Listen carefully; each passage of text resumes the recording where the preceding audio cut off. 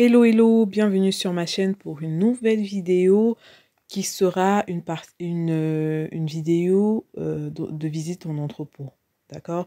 C'est une succession, une suite de vidéos euh, que je vais vous présenter sur ma chaîne. Parce qu'en général, quand je vais voir les, co les, collaborateurs, je ne ressens pas forcément le besoin de filmer. Des fois, je filme, je les garde pour moi comme archive.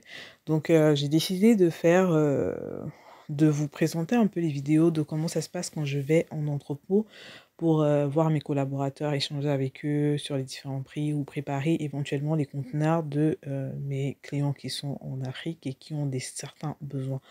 Donc, euh, ces visites seront en plusieurs parties. Donc, c'est la partie 1.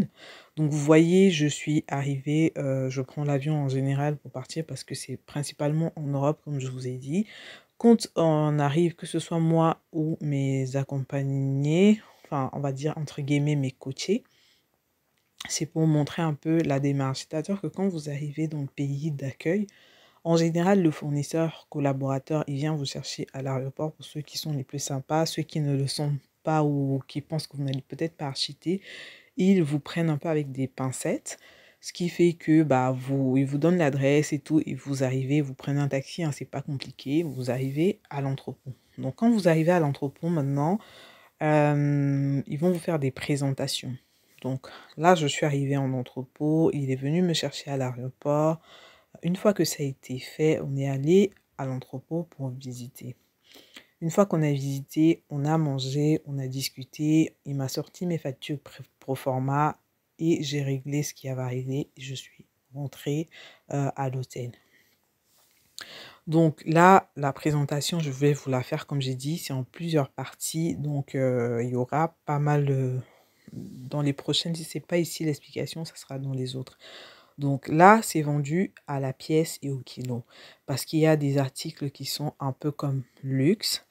Euh, donc vous aurez des marques euh, qui sont vendues aux Galeries Lafayette qui se vendent par 250 pièces, 300 pièces. Il y a des vêtements enfants qui se vendent à la pièce ou au kilo en fonction euh, des marques. Vous avez des mélanges qu'on appelle principalement premium ou mix marque Europe, comme ceux qui, sont là tout de suite pendant que je parle. C'est un mix. Donc vous avez Luigio, Azos, la marque Zero, euh, il y a un mélange de Pinky, un peu de Morgane. Donc tout ça, c'est euh, un mélange mix EU, voilà, comme vous pouvez voir, euh, qui, est vendu à la pièce, mais en général aussi, vous pouvez demander de vendre au kilo. Et après, les grossistes les prennent en gros et les revendent euh, aux revendeurs pour leur revendre par contre en pièces. Donc je vous laisse avec la suite de la vidéo et je vous reviens à la fin pour vous expliquer un peu tout ce que j'ai eu à voir dans cette partie 1, tout ce qu'il y a qu'on marque et éventuellement comment vous allez faire pour passer vos commandes pour ceux qui seuls, ceux qui veulent devenir grossistes comme je dis et j'ai redit encore, je fais de l'accompagnement pour devenir vendeur en gros.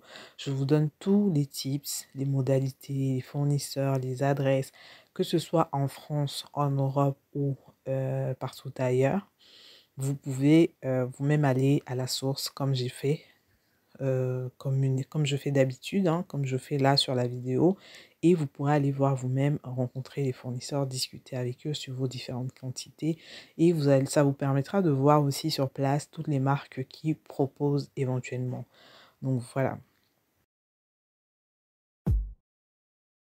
Donc, dans cet entrepôt, vous avez euh, tout ce qui est marque pour enfants, donc euh, principalement euh, Ardennes, de, le déstockage de Lidl, le déstockage de Kiabi, le déstockage de Band, qui est une marque italienne, de Piazza Italia qui est une marque italienne.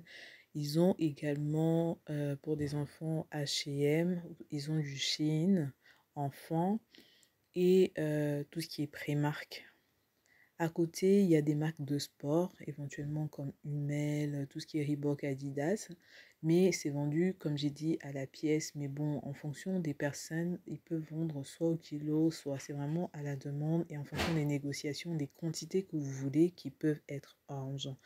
Pour les enfants, vous avez également la marque Tarte que je suis en train de toucher. Là, c'est un peu comme du Jacadi ici en France. Donc il y a vraiment pas mal de marques que vous pouvez, sur lesquels vous pouvez vous lancer sans difficulté. Comme ces t-shirts, vous les avez, je crois, à moins de d'être 70 centimes ou 80 centimes, je pense, la pièce.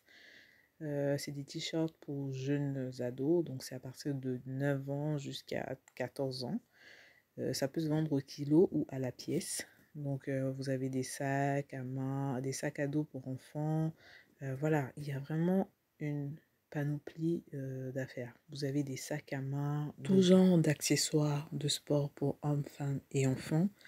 Donc voilà, il y a vraiment une panoplie de, choses que vous verrez au fur et à mesure sur d'autres parties des vidéos que je vais tourner éventuellement. J'espère que la vidéo va vous plaire.